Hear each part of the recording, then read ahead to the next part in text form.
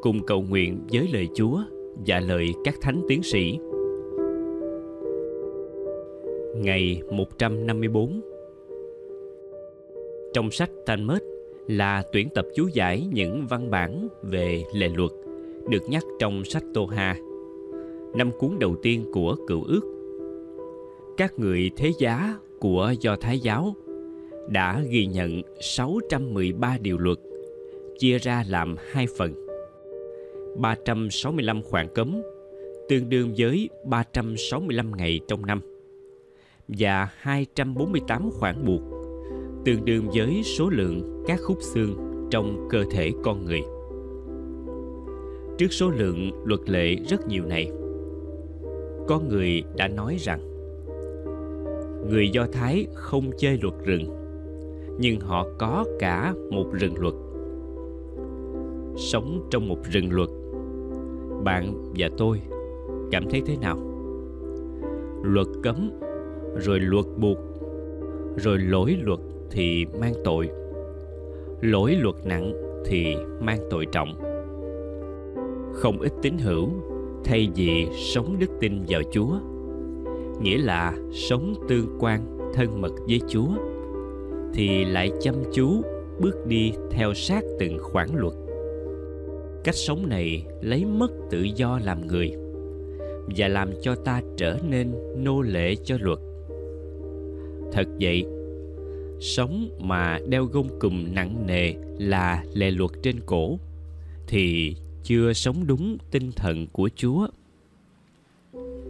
Tin mừng Marco ghi lại lời Chúa nói: Ngày sa bát được tạo nên cho con người, chứ không phải con người cho ngày sa bát. Bởi đó, con người làm chủ luôn cả ngày sa bát lời chúa nói không có ý nghĩa là bãi bỏ ngày sa bát mà chúa giúp ta nhận ra giá trị của luật lệ. Đó là luật lệ được tạo nên để phục vụ cho con người. Và vì thế luật lệ phải trở về vị trí đúng đắn của nó, để trao lại cho con người vị thế làm chủ lệ luật, làm chủ ngày sa bát với lời mạnh mẽ đó, chúa giêsu muốn cất đi những gánh nặng mà dân chúng đang mang vác vì sống trong rừng luật khắc khe. Và chúa muốn giải thoát dân chúng trước lối sống nô lệ cho luật tâm tình của chúa tương hợp với lời thánh vịnh. Gánh nặng vai dân, ta đã cất cho. Tay họ thôi cầm chiếc kỳ người nô lệ. Lúc ngặt nghèo, người đã kêu lên. Ta liền giải thoát. Hơn nữa, sống theo lệ luật chúa là sống dưới sự hướng dẫn của chúa thánh thần để mỗi ngày ta có thể trở nên giống chúa hơn cụ thể qua chính đức ái tình yêu thương Thánh Agostino để lại lời hướng dẫn thật đẹp. Lệ luật của Thiên Chúa được chính Ngài khắc ghi trong cõi lòng chúng ta là gì? Nếu không phải là chính ân sủng của Thánh Thần, nhờ sự hiện diện của Ngài. Mà đức ái là việc chu toàn lệ luật, được tràn lan trong cõi lòng ta. Lạy chúa, xin giúp chúng con biết trân quý lệ luật, nhưng không bao giờ trở nên nô lệ của lệ luật. Xin giúp chúng con luôn biết sống dưới sự hướng dẫn của thần khí chúa lạy thánh agostino, xin cầu bầu cho chúng con. Hồn sống trong ngày. Hồn sống hôm nay là sống theo luật yêu thương, đưa lại tự do và niềm vui. Bạn hãy làm một điều gì tràn đầy yêu thương cho bất cứ ai, như chúa dạy.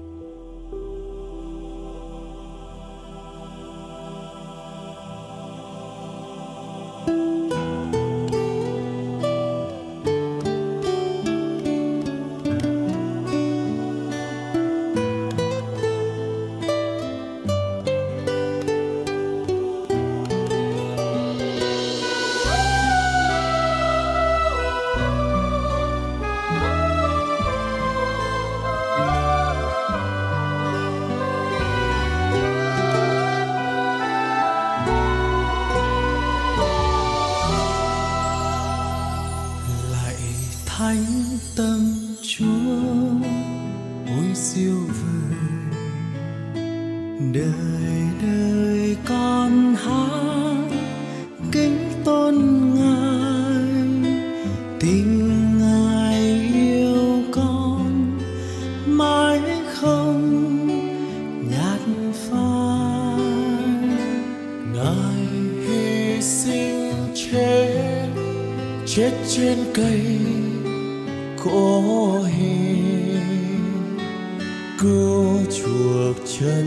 gian đang trong tôi tìm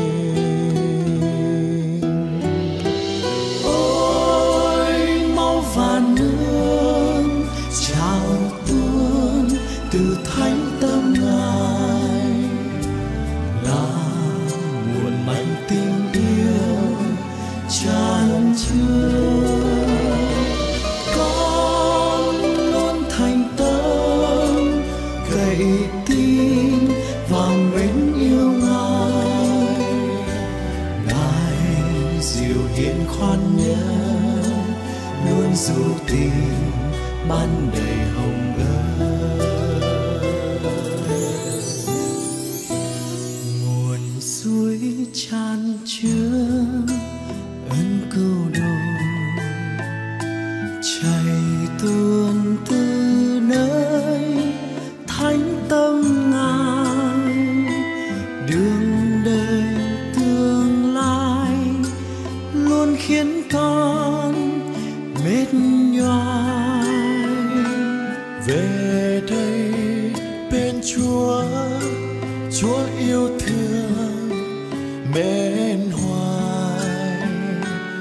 vững lòng cây trong phố giờ nơi ngài. Ôi, máu và nước chào tuôn từ thánh tâm ngài. Là nguồn mạnh tình yêu tràn chứa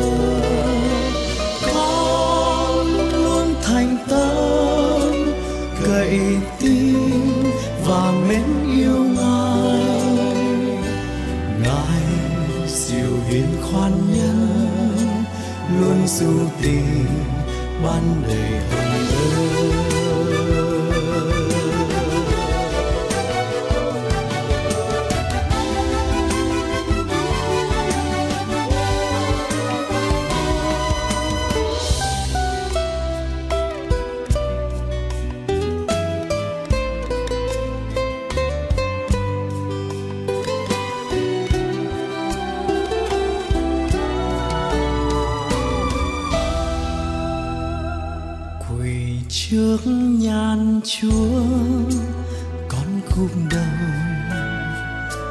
niềm suy ơn chúa quá cao sâu nhiều lần vô tâm, con chót xa tình ngài.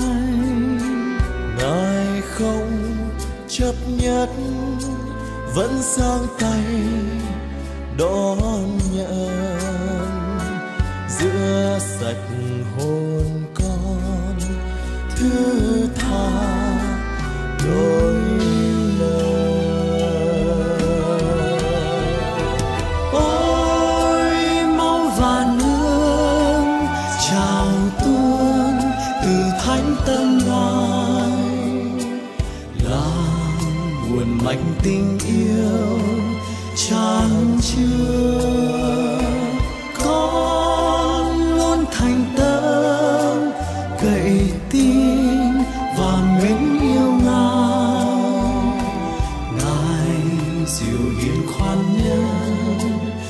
du dù tình ban đầy hồng ân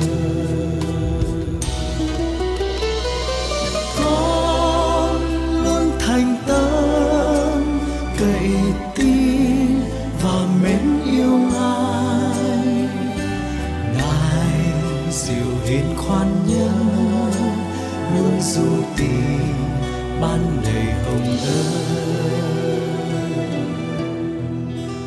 luôn du tình